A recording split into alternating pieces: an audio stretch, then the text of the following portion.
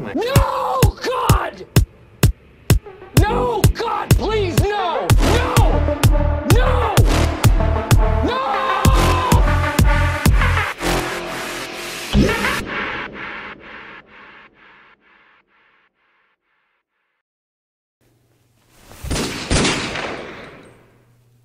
J'espère que t'es pas là pour me faire la peau. Comment? Tu me connais pas? Tant mieux pour toi. Mais bon, je vais quand même devoir te raconter mon histoire.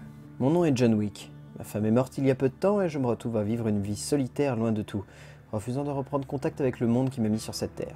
Jusqu'au jour où je reçois un ultime cadeau de ma femme. Mais tu as encore besoin d'aimer quelque chose, quelqu'un. Alors commence par ça. Parce que la voiture ne compte pas. Tout d'un coup, la vie semble avoir un sens avec Daisy, et je commence à revivre.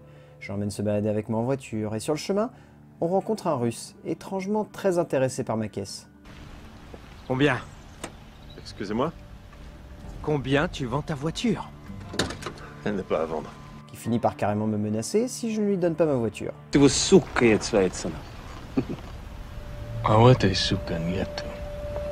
Mais bon, Daisy et moi on s'en fout un peu. Mais là où je pensais m'en tirer facilement, la vie m'a mis un autre défi sur mon chemin. Ce petit con de russe va venir directement chez moi le soir même, et devinez quoi? Eh oui, cette enflure non seulement me vole ma caisse, mais en plus bute Daisy.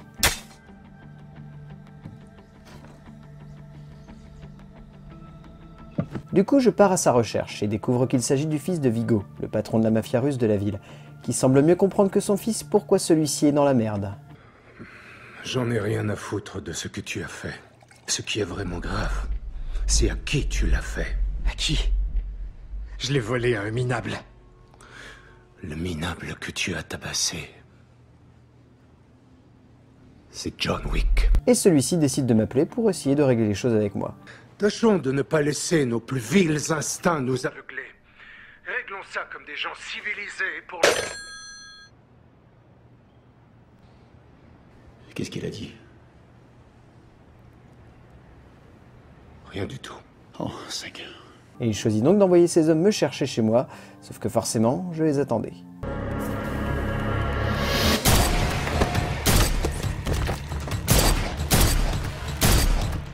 Mais la police débarque. Tu as repris du service? Non, je règle quelques petites affaires. Ce qui se pourrait bien être vrai. Pour être plus tranquille et régler les choses sur un terrain neutre, je décide de descendre en ville, dans un hôtel un peu particulier, le Continental. Un hôtel réservé aux tueurs et aux assassins de haut vol, où je ne suis pas un inconnu. Et comme toujours, c'est un grand plaisir de vous revoir parmi nous, Monsieur Wick. Je demande alors au patron de l'hôtel, un très bon ami, de me dire où se trouve le fils de Vigo, Joseph. Et celui-ci me met en garde. As-tu pensé à ce que tu fais? Et réfléchis en toute conscience à ce qu'implique un tel projet. Et finit par me dire où le trouver, soit dans une boîte de nuit en ville. Là-bas, je déblaye gentiment le terrain. Prends congé ce soir, ça vaut mieux.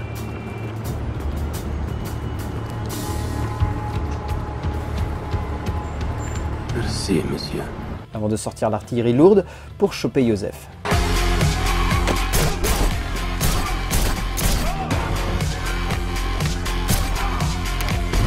Jusqu'à ce que je tombe sur plus fort que moi et que je me fasse mettre à terre.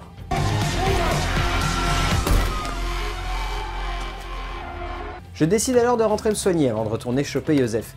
Mais pensant pouvoir me reposer, une autre surprise m'attend dans ma chambre. Car pendant que je dors, Miss Perkins, une tueuse hors pair, est engagée par Vigo pour me buter dans le Continental. Je me suis permis d'entrer.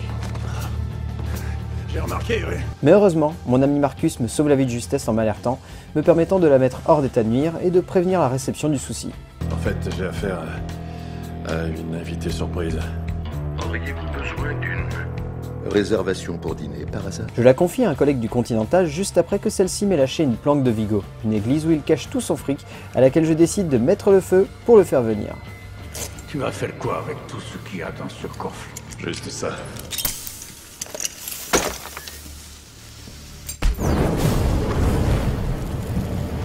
Mais celui-ci réussit à me choper tout de même, et commence à me demander pourquoi je fais ça. Quand Hélène est morte, j'ai tout perdu. J'étais perdu. Jusqu'à ce que ce chien arrive chez moi quelques jours après.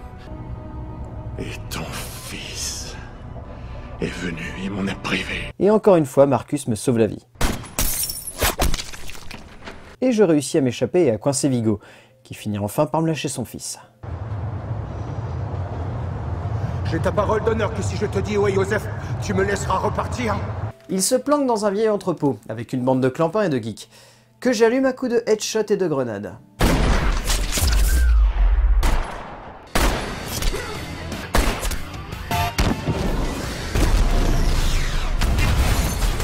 Et je finis par buter Joseph.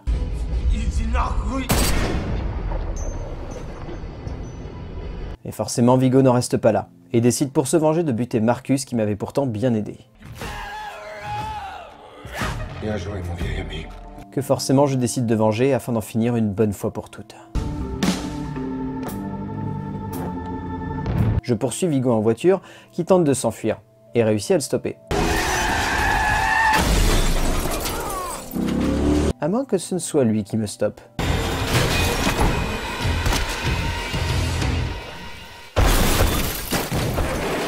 Et on décide de finir tout cela en se foutant sur la gueule mano à mano. Je finis par le buter alors que moi-même je me sens pas forcément au mieux de ma forme.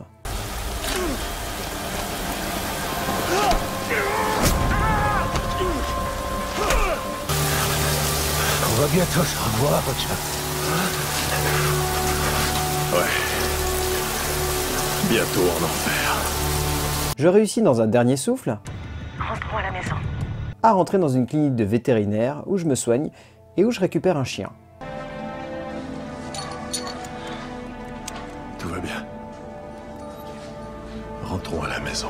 Et c'est ainsi qu'à moitié mort, je décide de rentrer chez moi. Fin de journée plutôt banale au final.